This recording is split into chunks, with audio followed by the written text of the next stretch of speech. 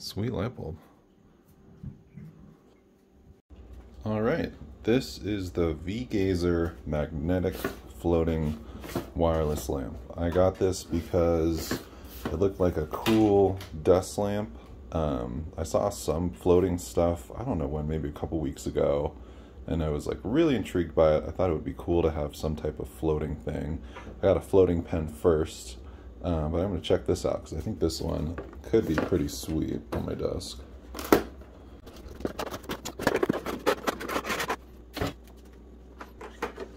Alright, so it comes with the power cord.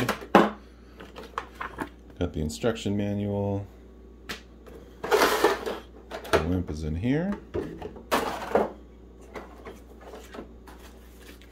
Okay, there's the bulb, packaged nicely.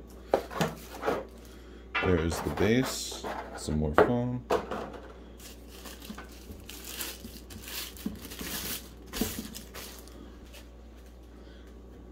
Okay, yeah, that looks pretty good. Shiny, totally clean out of the box. I think this is wireless charging right there. I'll have to try with my phone. And then I guess it's just flat underneath where the light bulb is. It uses induction charging, so it charges, or not charging, induction power. So even though the bulb floats, it gets power from this base, which is pretty sweet. And there's the plug on the back.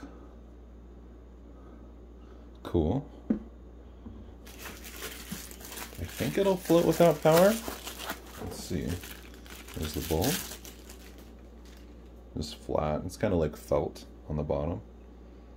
The bulb looks nice. I like the design. Cool. Huh. So, without power, it just hugs directly on there. Okay. Right, it is plugged in.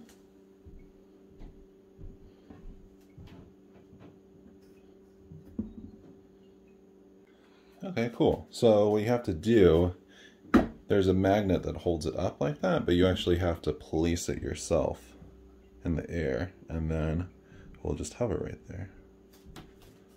That's pretty sweet.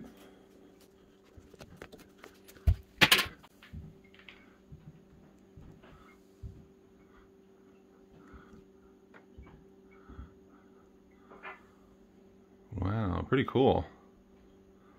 I like it. I don't know if I'll use the phone charger on it, so I don't know how good that would look, but I definitely like the light bulb effect. I think that's sweet.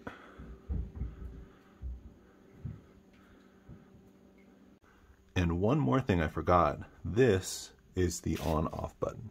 It's not a click, it's like a, a touch sensor, so you just touch your finger to it and it turns the bulb on and off.